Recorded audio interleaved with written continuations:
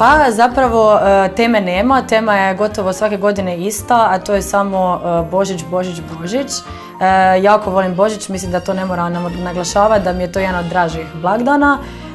I nekako uvijek volim da je šareno, da je crveno, nisam fan onog uređenja da je sve nekako lijepo i u skladu, već volim da je šarenilo i da se baš osjeti taj božićni duh i kroz ukrase i da je cijeli dom nekako prepun. Inspiraciju za božićnu dekoraciju e, definitivno sam najviše pokupila od svoje mame.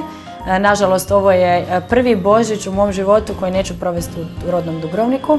Tako da nekako sve ono što je mama upražnjavala ovih godina, ja sam nekako to ovaj, pokupila i pokušala isti dašak dati svom domu. To je nekako veselje i taj blagdanski duh koji vlada. Htjela sam da tako i naša kuća da bude puna cvijeća, božikovine, eukaliptusa, šarenih ukrasa za bor. E, volim da se osjeti taj duh Božića, budući da je samo jednom godišnje i da je to najljepši e, blagdan ikad.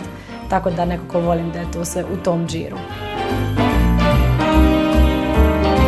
Mislim da e, bilo tko ko je ikad proveo blagdan u Dubrovniku može potvrditi da je to najbolji grad u Hrvatskoj za biti tijekom Božića i Nove godine.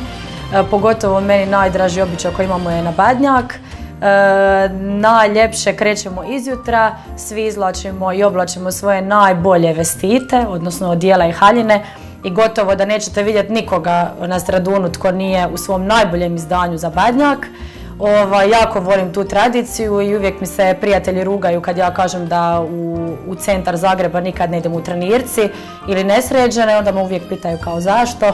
To je upravo zato što mislim sam to pokupila sa Straduna. Mi uvijek svi idemo tamo u najboljem izdanju, a na Badnjak je to 100%. Ovaj, ujutro krećemo sa uh, kolendom na Stradunu koja je prekrasna.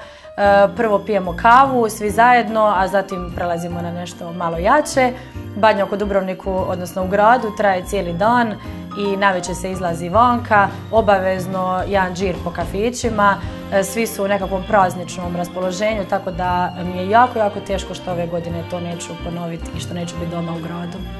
Pa sad ispada kao da ja zapravo nisam sretna, kao da ne volim Zagreba, to je apsolutno krivo. E, ipak Mislim da sam 30 godina provela za Badnjak i za Božić doma, odnosno u gradu, ali jednako tako volim i Zagreb i volim zagrebačku tradiciju Badnjaka, apsolutno. Ono što ću definitivno uprazniti je da ću pokušat e, neke dubrovačke tradicije donijeti, odnosno dovesti u, naš zagrebački dom, a to je recimo e, pogotovo što se tiče hrane, E, tako da mislim da će se na našem jelovniku za Badnjak i za Božić noć e, određena Dubrovačka jela. Tako da, stay tuned. Dobro pitanje. Rekla bih e, Božić u gradu, a Nova godina u Zagrebu. Može tako, pola